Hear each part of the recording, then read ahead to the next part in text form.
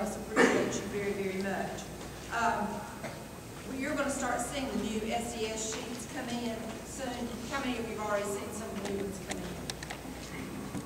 We didn't have any of the new ones with the new, Jason, did the USDA? Jason, have you been any of those? Uh, not yet. Everything's still the same right now. Okay, well, they will, they will start coming in. If any of you do not have one of the pocket cards that I gave you last year, or if you're new and you have not gotten a pocket card that has all the pictograms and everything on it, please pick one of these up. I'll put them back there with Lisa so that you can pick one up and it's so that you will understand the pictograms.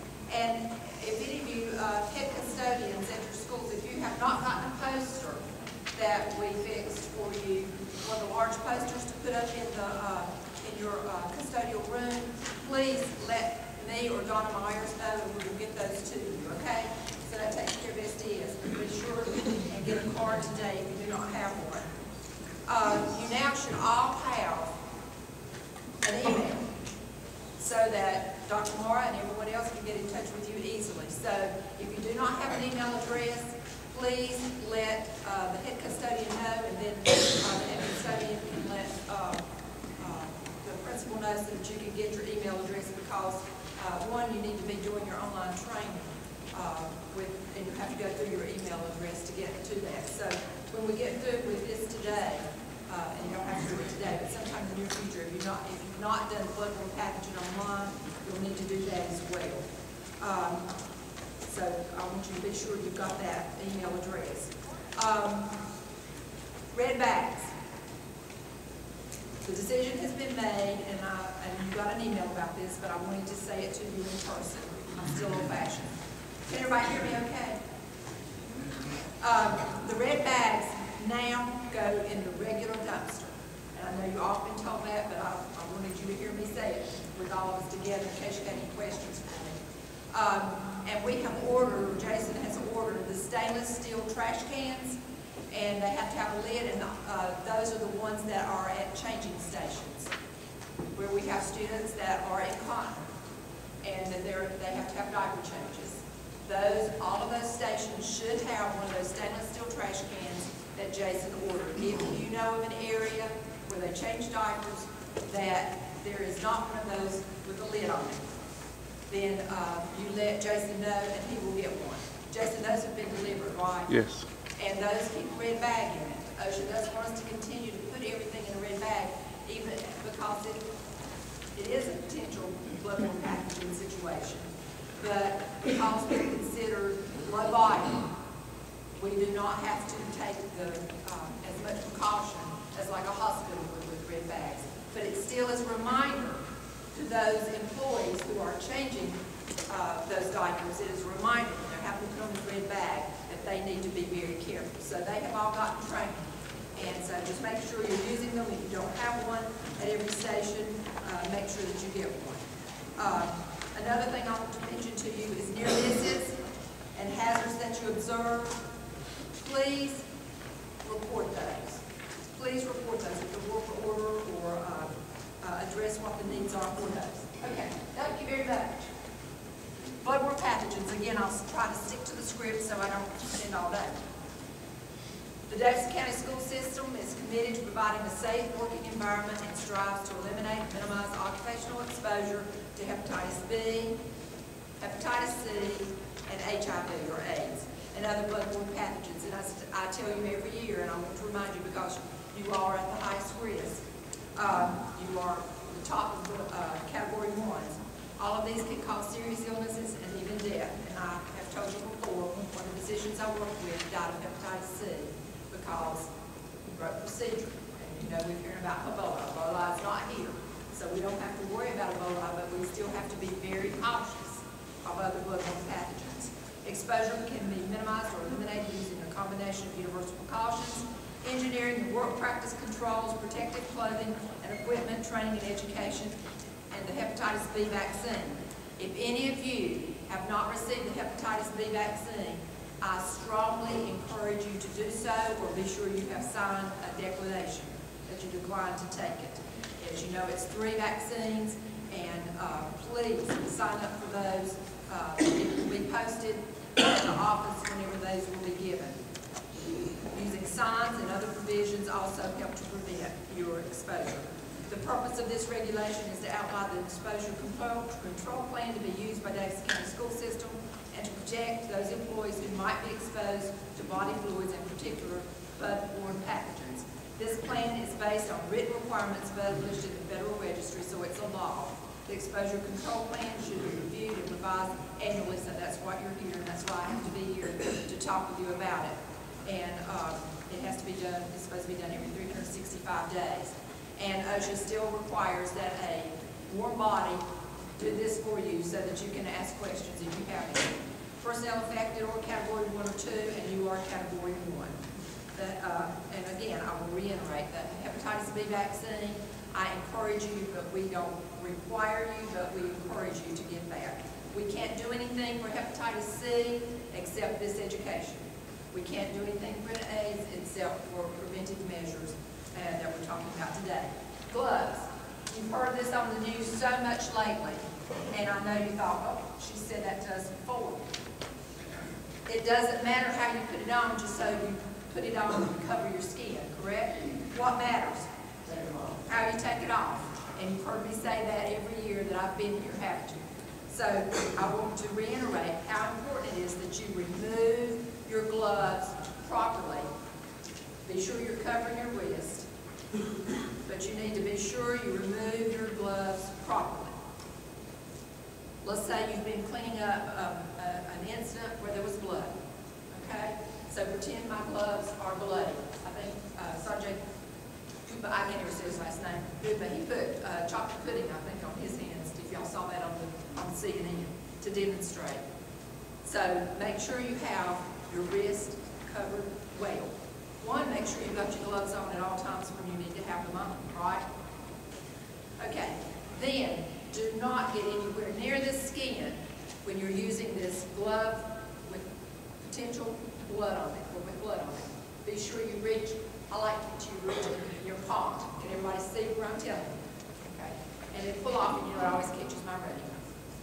It then wad it up in your hand like this, so that that mess is not dripping or has, doesn't have the potential of contaminating hand. Because now this hand is considered, considered clean, and we do not want to contaminate it.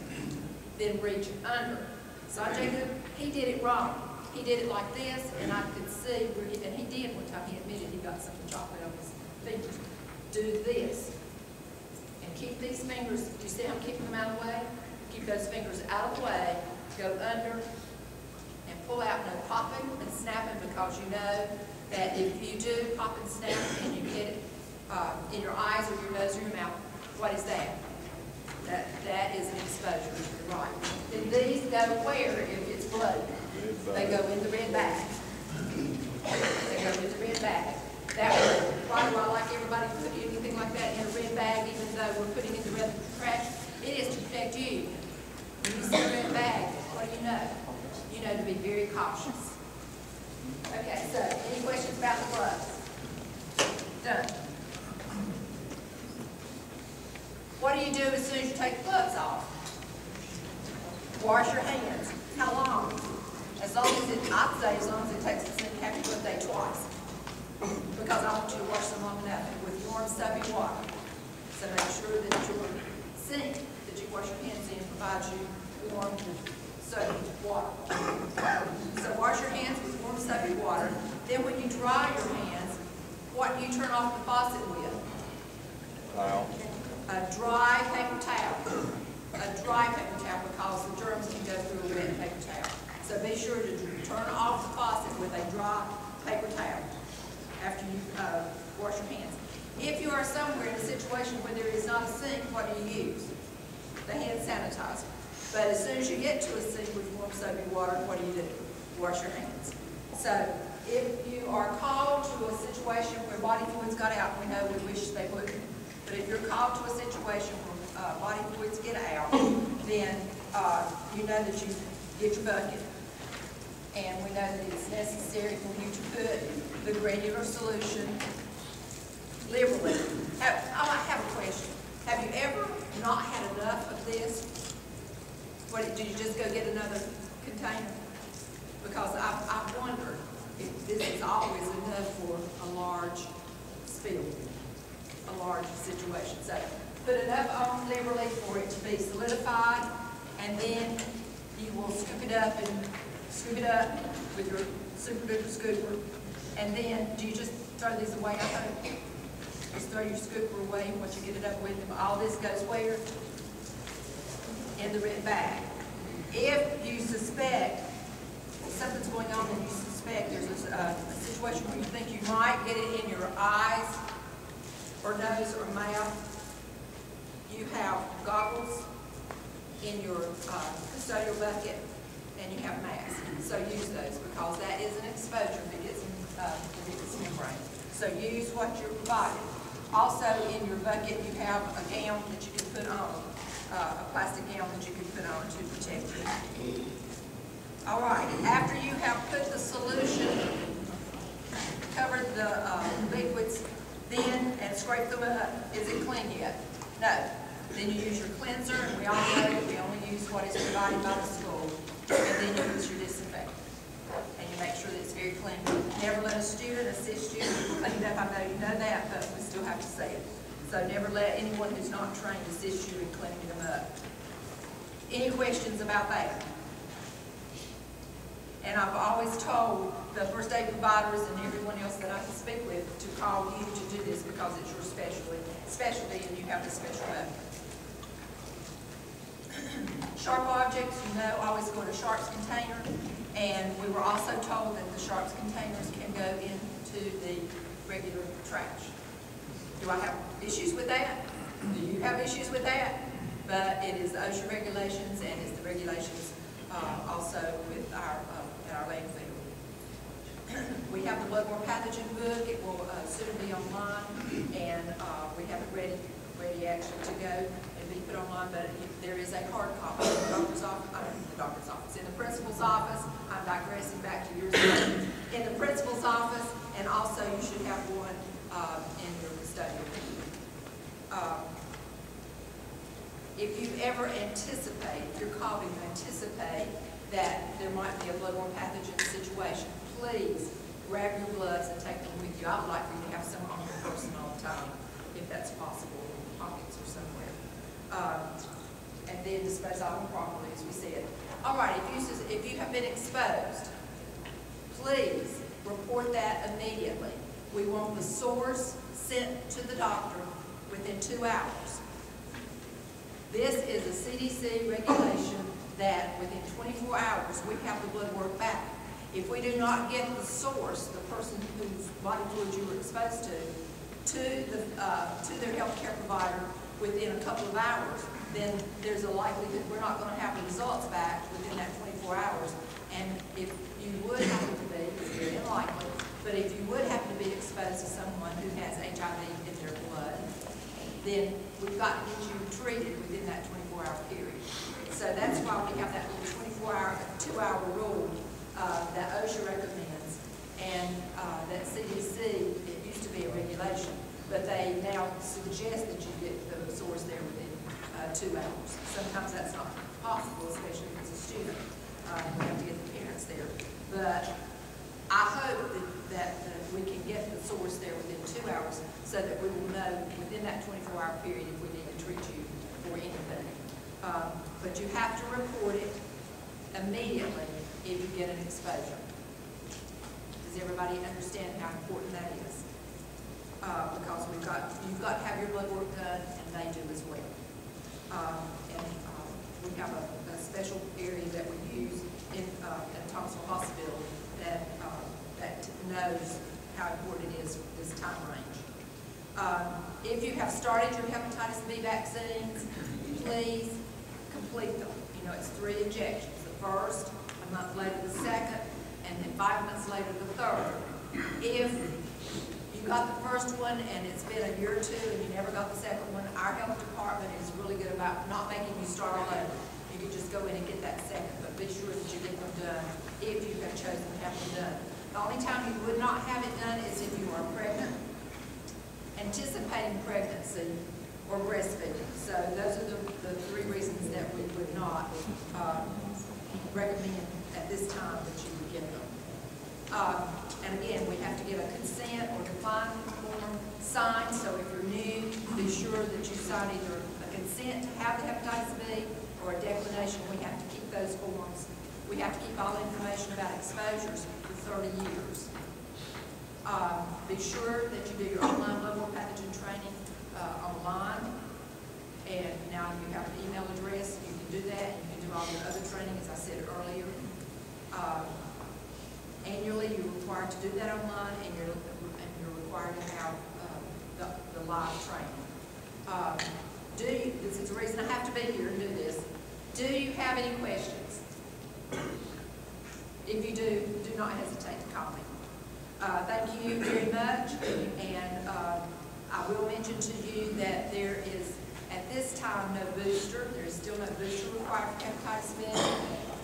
If you get an exposure, they'll check and see if your titer, your antibody titer is still high enough. If not, they will give you a booster at that time. If CDC decides that you need uh, a booster, they will let us know, and we will immediately let you know, and we will pay to get that done.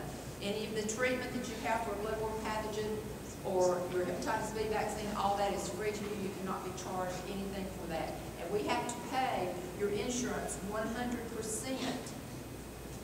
Or, and if we don't pay it one hundred percent, then uh, we have to pay for your hepatitis B injections. So those are just some things that you need to know. Any questions? Thank you very much. Thank you, Elaine. How many of y'all have found your budget? and updated lately? You need to locate these and update them, they're your friend, okay? Should be one your gym area, and somewhere across the middle of the school. These chemicals have a date on them, you need to be sure that, that they're in date.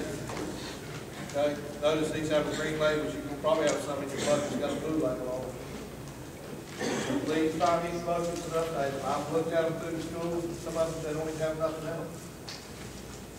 Okay? Response time, when the, when the office calls you for a cleanup, you need to respond quickly. Because you know, one season, another one's gonna think about it, they're gonna do it. It, it's contagious. So you need to you need to jump on those spills immediately. And do not use a vacuum cleaner to get up and throw up. Okay? That's not what a vacuum cleaner's for.